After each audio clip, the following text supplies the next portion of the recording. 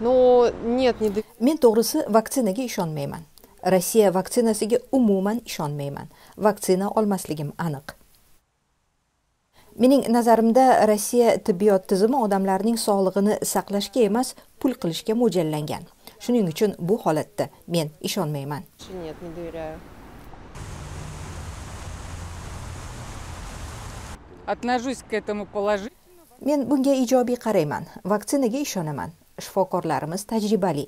Vaksina olishga kelsak uni olishimga to'g'ri keladi. Chunki men o'qituvchiman bizga tavsiya qilinadi?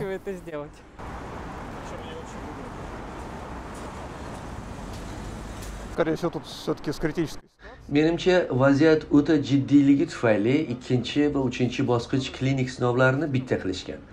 Muhim soha odamlari shifokorlar harbiylarni tezroq emlash uchun shunday qilingan deb o'ylayman То есть та же- те же медики, военные и все такое.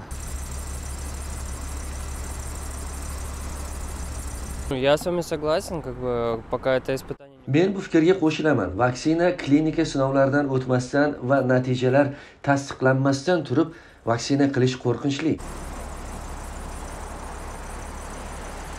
Я, безусловно, доверяю men российской вакцине. so'zsiz rossiya vaksinasiga ishonaman bizning bu sohada tajribamiz katta boshqa davlatlar yoki kompaniyalarnikidan yomonroq bo'ladi deb o'ylamayman mening o'zimda biroz qo'rquv bor hoynahoy eng oxirida olsam kerak vaksinani chunki infeksiya riski bo'lgan sohada ishlamayman bu birinchi navbatda aholi bilan yaqindan ishlaydigan o'qituvchilar shifokorlar uchun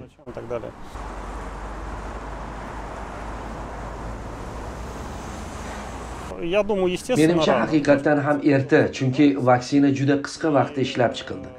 Ehtiyot bo'lish tabiiy ammo bu ko'proq mamlakatimiz erishgan yutuqlarning ahamiyatini kamaytirib ko'rsatishga qaratilgan nazarimda. Menimcha ko'p ish qilindi va vaksina topilgani ajoyib bir ish. Сделано, это, это здорово, то, что есть вакцина.